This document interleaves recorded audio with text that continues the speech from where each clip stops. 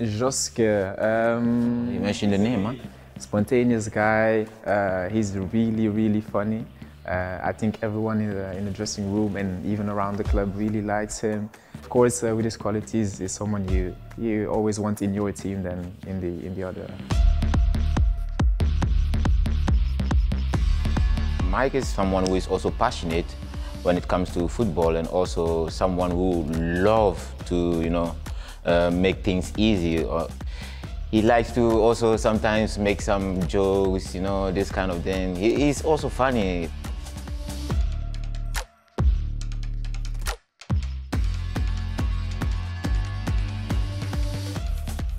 Josque, Bro, you good? yeah, I'm good, and you? I'm good, I'm good, I'm good. So there are a couple of questions here.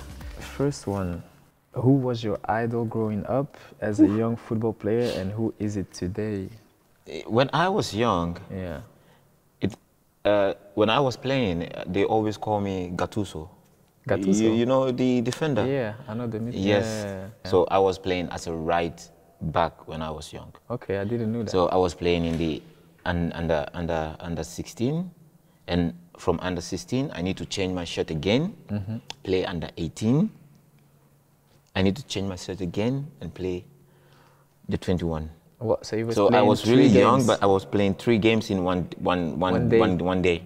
one day. Yeah, bro, it's, it's, it was crazy, really. I think now it's really Hazard. Yeah? Because I really love the kind of Of play of, he of is. play he is, even though, uh, yeah, he's not having his best uh, Yeah. uh, season now. But everyone he's, he's really, everyone knows who he's capable of doing, you know. yeah. In Chelsea, how good he, he, He was, was, you know. yeah. So, yeah, he's also one person that I've always admired and always wants to be like maybe in the future also. Yeah, uh, me as a young, as a young kid, um, it always has been um, Robinho.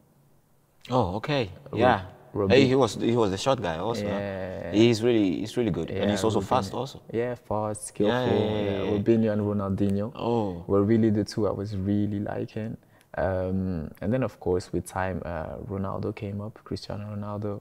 Um, and then actually now um, is Neymar. I, Neymar. now I understand. Why? yes, now I understand.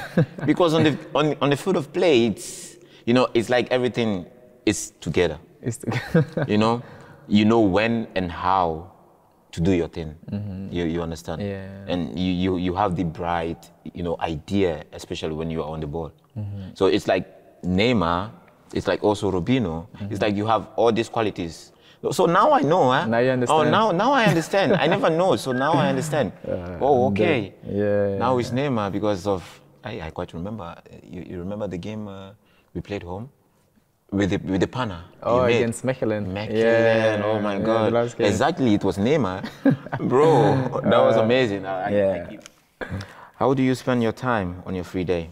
On my free days, um, most of the time I go back to my mom's place. Um, Your mommy's boy, no? what do you say? Mommy's boy, no? Uh, yeah, quite. I, the past the past years I used to play in the Netherlands, so I haven't been home like uh, a lot of times these last years. But um, that's why when I have a free day, I go back see my mom, uh, my little brother too. Uh, just spend some time with them. Just a normal, casual day, um, and yeah, just just get at peace again. Yeah, and it always feels good, huh? of when course, you're with your and family. of course, being home with Yeah, your mom. bro. You know, eating the food that your mom makes. Yeah, So, yeah. That's Sometimes you miss the food, huh? yeah, you definitely miss the food. what are you doing on your free days then? Uh, my free days. Uh, normally, if we have like we have this ten days free now. I need to go to my family also, see my family, see my twin sister. I also miss her, you Yeah. know. Uh, see see my younger brothers and, uh, and and sister, and also my my mom. You know. Yeah. It's been a long time. I I also saw her, so Yeah. I need to I need to go also, show them some love and just be with them and just you know make something out of the, the, the vacation that I have That you because that's the most important thing. Afterwards, you need to concentrate on football when you come, and you know, and this also really helps in you know getting some stress out and Of course. being really freely in the mind and just yeah doing what you love. So yeah, in my free time also that's what I do, and sometimes I also play FIFA. Yeah, Yeah, bro. Yeah. What is the hardest decision you ever had to take in your life? The hardest decision. Yeah, the hardest. Oh, Yeah, I, I would say when I was really young, Mm-hmm. I took a decision uh, for myself. Uh, it's based on school and football. Okay. So my mom was in support of school, my dad was in support of school, but when I just told them, look, yeah, I, I will continue the school, but after this period when I go, I'm just going to stop because, you know, it's not something that's for me. Uh, I just need to concentrate on the talent that I have. So it was a back and forth with my family. You know, sometimes when I go to training, they are always angry and all that. But you know also why they were like a little bit angry. Yes, yes, because they, the parents will always be parents. Yeah, that's They will always want your children to go to school, Yeah. Mm-hmm. have a good education, and all this kind of thing. I really, I really, you know, uh, accept and you know deal with what they say. But you Mm-hmm. know, sometimes also I just need to, you know, go with how I also feel. You know. Totally, totally. Yeah. You need to feel a bit like follow your gut. Yeah. And now it, it's it's paying off also, and they are also happy. So so I Yeah. think when when we are talking now, sometimes we don't even talk about that. You Yeah. know, now we talk about how things are really perfectly going on well, and how life is really uh, changing from time to time, and all these kind of things. So, yeah, at the end of the day, I think really- they, they just want you to be happy, of course, Yeah, as their child. Okay, Mike. There you go.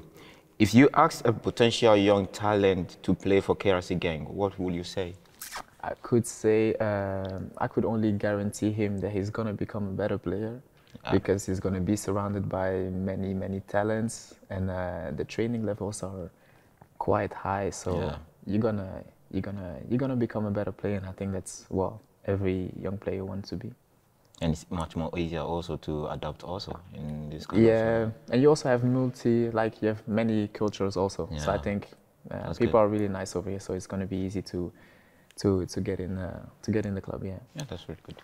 What was the craziest question you ever got from a fan?